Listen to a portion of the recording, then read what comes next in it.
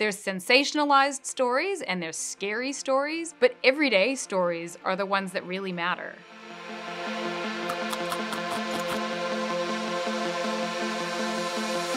It's an amazing scientific accomplishment that we have COVID vaccines in such a short period of time. But just because we have the vaccines doesn't necessarily mean that our community is going to be immediately protected.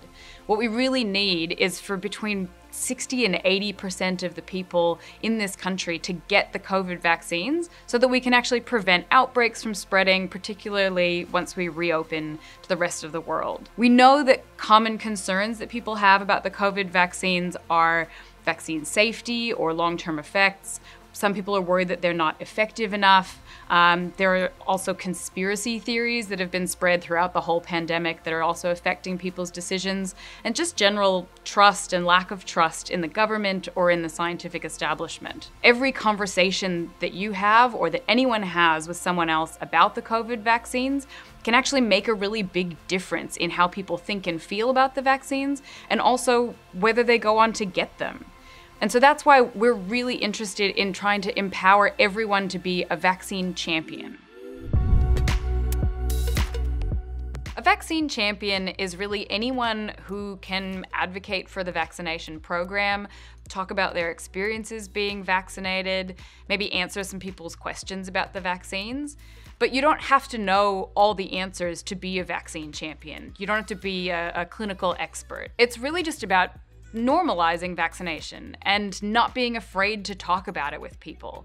We know that people trust people that they already have relationships with, and that the information that they hear from those people is going to be a lot more powerful in shaping their decisions and the way they think about the vaccines than information that they get from, you know, a government spokesperson or a website. So there's a few different things that anyone can do to be a vaccine champion.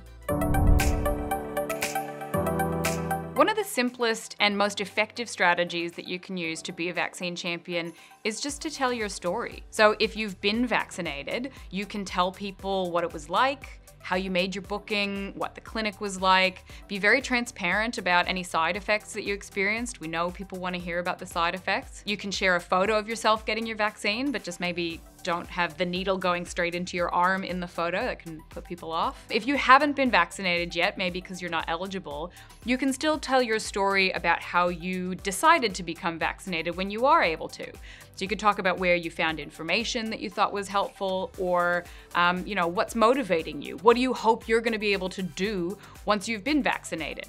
The key is really just to normalize vaccination so that everyone realizes that they know someone who has been vaccinated or is going to be vaccinated, and it's not that scary.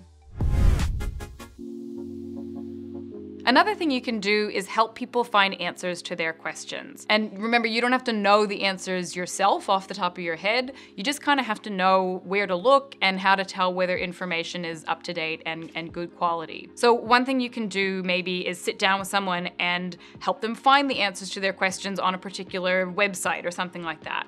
Or you can make yourself available to people and they know that if they ask you a question, you'll go away, you'll do the research, and then you'll come back and share what you've learned with them. Another thing you can do is help people figure out if they're actually eligible to get the vaccine. And if they are, you can help them find a clinic where they can get it or even help them make a booking.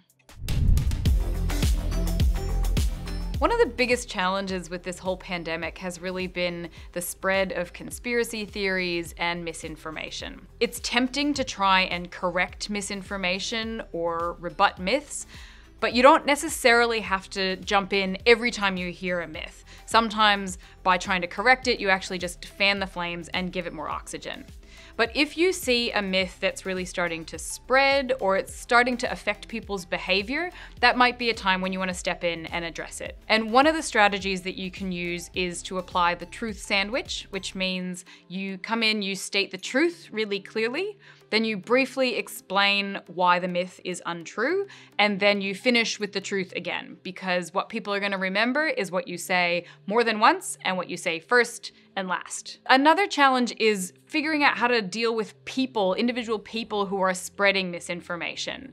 Um, and the first thing to do is to try and speak to them in private. So it's not very helpful to engage in a public debate with someone, either online or, or in the real world. And also just to remember that you can't necessarily change everyone's mind.